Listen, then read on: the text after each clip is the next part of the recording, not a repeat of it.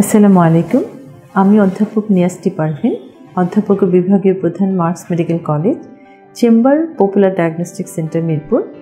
মেডিটোকে সমস্ত দর্শক শ্রোতাকে জানাচ্ছি আন্তরিক শুভেচ্ছা অভিনন্দন। আজকে আমরা কথা বলব অত্যন্ত একটি কমন সমস্যা নিয়ে, যেটা গর্ভকালীন অবস্থায় প্রতিটি মায়েরাই ভুগে থাকে। সেটা হচ্ছে গর্ভকালীন গ্যাসের সমস্যা। গর্ভকালীন অবস্থায় যদিও একটি ন্যাচারাল পদ্ধতি খুব একটি ন্যাচারাল ওয়ে কিন্তু এই গর্ভের ন মাস সময় মায়েরা বিভিন্ন ধরনের উপসর্গ বা জটিলতায় ভুগে থাকেন। এর মধ্যে বমি বমি ভাব বা বমি, এটা খুবই একটা কমন সমস্যা। সেরকম একটি কমন সমস্যা হচ্ছে গ্যাসের সমস্যা, বুক জ্বালা পড়া, পেটে মানে ভারী ভারী লাগা অস্থিরতা এই ধরনের সমস্যাগুলো কিন্তু ওরা কমন বলে থাকে।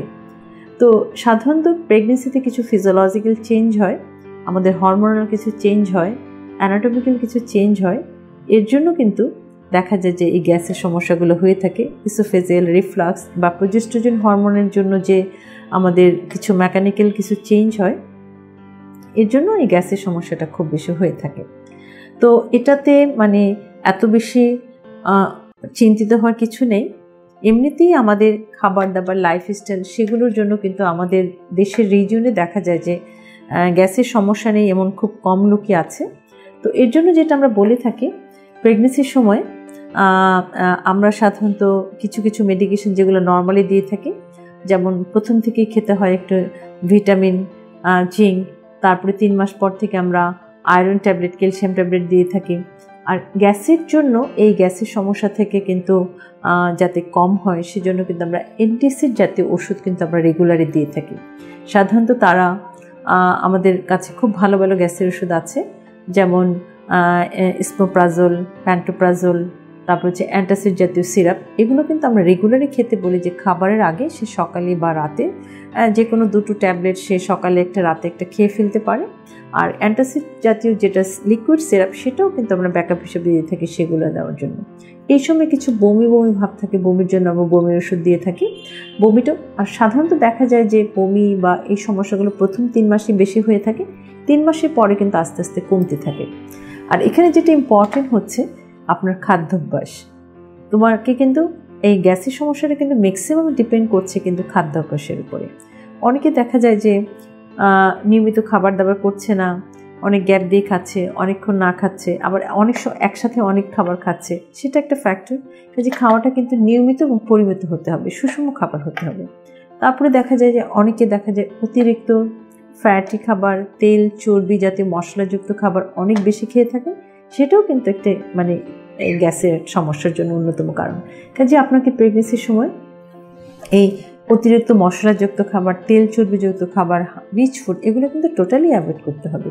এগুলো মানে এগুলো অ্যাভয়েড করে সুষম খাবার খেতে হবে। ঘরেই তৈরি খাবার হ্যাঁ যেগুলোতে কম মশলাযুক্ত খাবার, অতিরিক্ত ফ্যাট জাতীয় খাবার সেগুলোকে অ্যাভয়েড করতে হবে। তাহলে কিন্তু অনেকটাই ফুড হ্যাবিটটা যদি আমরা কারেকশন করতে পারি, তাহলে কিন্তু অনেকটাই সেটা কারেকশন হয়ে যায়। তারপরে যদি সেটা কারেকশন না হয়, তাহলে কিন্তু আমাদের মেডিসিন যেগুলো আছে, সেগুলো নিতে হবে। আর স্ট্রেসফুল লাইফ টেনশন বেশি অতিরিক্ত পরিশ্রম, রাতে ঘুম না হওয়া, এগুলোও কিন্তু আপনার অ্যাসিডিটিকে বাড়িয়ে দিতে পারে। কোনো একটা এক্সাশন টেনশন সেক্ষেত্রেও কিন্তু এগুলোকে আপনার স্ট্রেসফুল লাইফ লিড করতে হবে। রিল্যাক্স থাকতে হবে। সেটার জন্য নিয়মিত ইয়োগা মেডিটেশন প্রেয়ার এগুলোর কিন্তু সব কিছুই প্রয়োজন আছে। আর কিছু কিছু ক্ষেত্রে আপনাদের সতর্ক করছি, কখনো কখনো কিন্তু পেন কিলার যারা নাকি হয়তো কোনো বাতের ব্যথাতে ভুগছে রিউমেটিকে ভুগছে, তারা যদি রেগুলার পেন কিলার নেয়, যেগুলো খুব স্ট্রং পেন কিলার আছে, এগুলো কিন্তু যদি খালি পেটে খাওয়া হয়, তাহলে কিন্তু গ্যাসের সমস্যা হতে পারে। যে পেন কিলার কিন্তু অবশ্যই আমরা বলে থাকি যে খাবারের পরে ভরা পেটে খাবে এবং সেটার সাথে গ্যাসের ওষুধ যেটা আমাদের আছে, সেই ওষুধগুলো মিলিয়ে খাবে। তো আমি সেটাই বলব যে যদিও গ্যাসের সমস্যাটা খুব সামান্য, কিন্তু সেটা নিয়ে কষ্ট পাবেন না। এই নিয়মকানুনগুলো মেনে চললে এবং প্রয়োজনে ওষুধ খেলে অবশ্যই আপনারা ভালো থাকবেন। তারপরেও কোনো প্রবলেম হলে অবশ্যই আপনারা ডক্টরের সাথে যোগাযোগ করবেন এবং নিজে সুস্থ থাকবেন। ধন্যবাদ।